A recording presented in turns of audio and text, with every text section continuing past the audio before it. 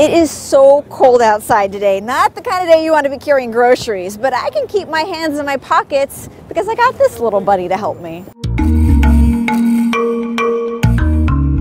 This is Gita, a robot designed to follow you around and carry your stuff. 40 pounds of stuff to be exact. I took a prototype bot out for a spin on the streets of New York City to see what it was like to have my own robot helper buddy. Gita was created by Italian company Piaggio. You know them as the makers of the Vespa scooter. But this two foot tall cargo bot was born from a research team based in Boston. The only thing is, to get it to follow you, you have to wear this belt. They're working on getting that technology to be a little smaller. This not so sexy spaceman fanny pack is loaded with cameras that are mapping out the area around me.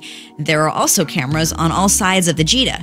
The system blends the data together so it knows where I am going while also not crashing into people walking between us. The team is working on shrinking this belt down into something you just have to clip on a pocket. My demo Gita behaved only when I walked slowly, but it has the potential to follow its owner on a run or a bike ride, traveling up to 22 miles per hour. If you keep it at walking speed, the battery's gonna last 8 hours. Come on, you gotta keep up. Now, this being a prototype, my trip was a bit of a bumpy ride. Sometimes it had trouble syncing with my belt, and someone from the team would have to jump in to steer it with a remote control. One of the wheels wouldn't light up, and it also got a bit banged up. Following you through doors is still a work in progress. That said, you better be going somewhere that has an elevator. It weighs around 50 pounds, so you do not want to lug this upstairs.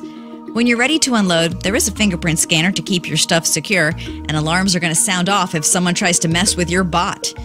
With its zero turning radius, the Nimble Gita has potential to be helpful in businesses like hospitals or hotels. It can also be pre programmed with a map of a facility so it can travel a set course.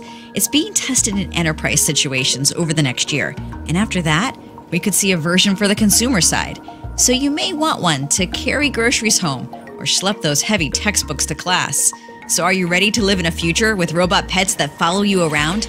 Because it's not a fantasy anymore. For CNET, I'm Bridget Carey.